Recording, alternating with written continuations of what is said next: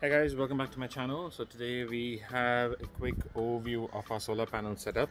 So if you see here, I have already set my solar panels up and uh, this is uh, a 1 kilowatt system, a close to a 1 kilowatt system. And if you have not checked my previous video out, go check that out. Uh, this time I'm going to show you the wiring sections. So this is what I did here. So each panel have this uh, junction box here. So likewise, uh, three panels has uh, three different junction boxes. So what I did was uh, from each of the panels, uh, I have connected parallel. So for example here, if you come this side, so this is a uh, MC4 connector, parallel connector. So I took one wire, that's the positive from the first panel to the second panel, uh, and I have paralleled it here. So both the panels get paralleled here in this section, and then this one goes to the other side, and uh, from here, the these two panels which are these two wires which are parallel from the other two panels gets connected here to this box. And from here it gets connected to this Y connector. And then it goes here. So this wire that I have actually used here is a 6 square mm wire. But uh, during the peak production uh, this actually wires gets quite hot. So the reason is because uh, during the peak production you get close to almost uh, 19 amps 19 to 22 amps uh, here in Chennai. So this wire gets quite hot. So I'm gonna double this wire here and then I'll try to change that because summer is coming up and you would have better production. So this is what I did. So all three panels are paralleled here and from parallel it goes directly here. So the VOC is almost around uh, 42 42 volts and each panel produce close to around uh, 8 or 9 amps. That's what it does. So these two wires that you see at the bottom uh, directly goes inside the flooring. And from there it goes inside my house. So let's go to the section where you uh, I have connected it to Gamma Plus.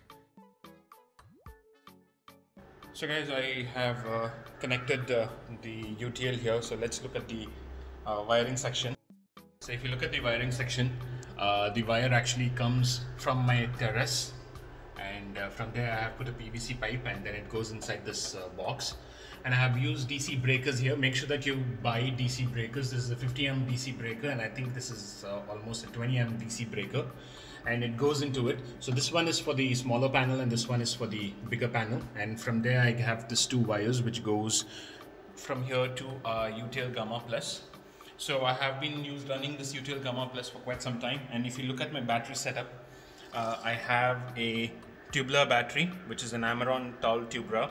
And at the bottom, you see lithium ion uh, batteries. This is actually a testing. So don't try this at home, but this is the testing which I'm doing. And this is parallel with the batteries. And I have configured the UTL Gamma Plus to uh, limit the output of the uh, voltage. So if you see at the bottom here, so guys, this is the uh, sections here. So let's quickly see uh, from the start. So right now, this is the SPV. I'm getting almost 17.7 volt. Right now it's almost 6 o'clock. That's the reason why the voltage is 17.4. The next section would be the percentage at which the inverter is being utilized, which is at 13 percentage. The next would be the hertz. And this is the uh, current voltage of the Gamma Plus, which is generating and then the ampere. So this is the battery ampere. This is zero because it's under discharge state.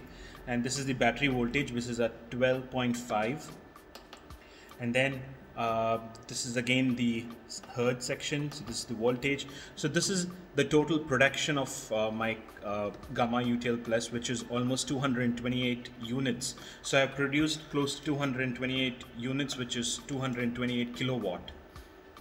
Okay? And uh, this is this production is almost for like uh, three three months.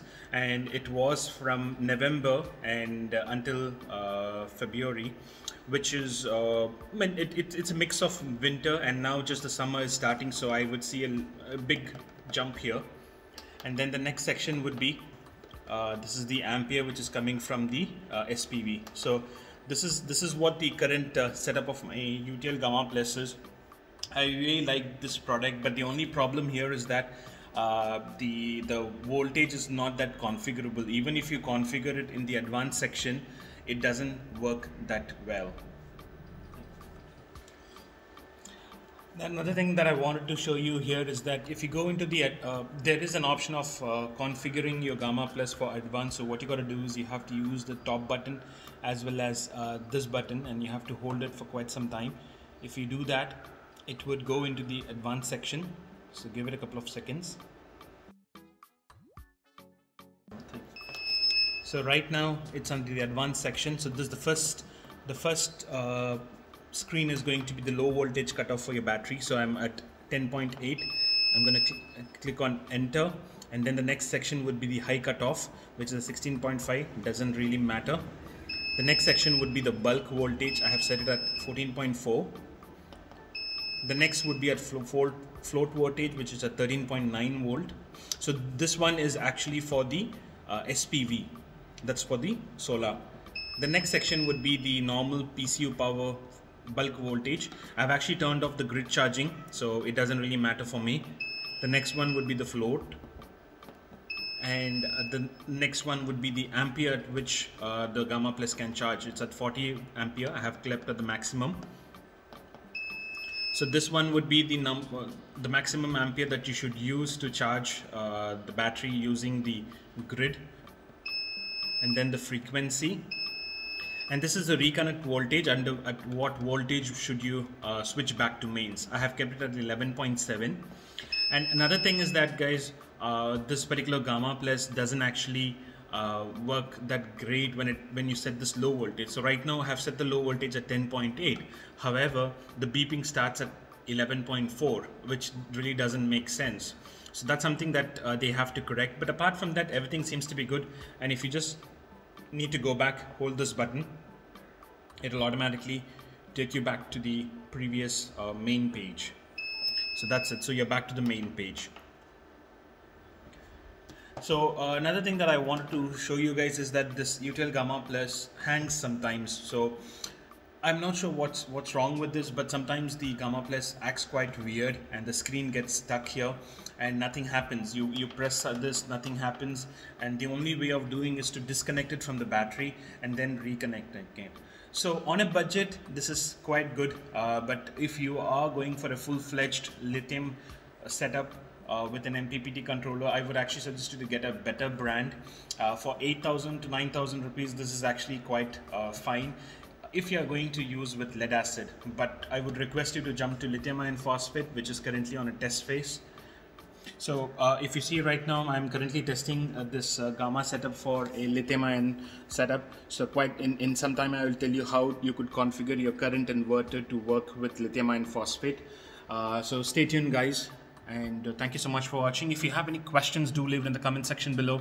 And uh, if you have any suggestions, do leave it in the comments. And thank you so much for watching. Stay tuned and do subscribe to my channel.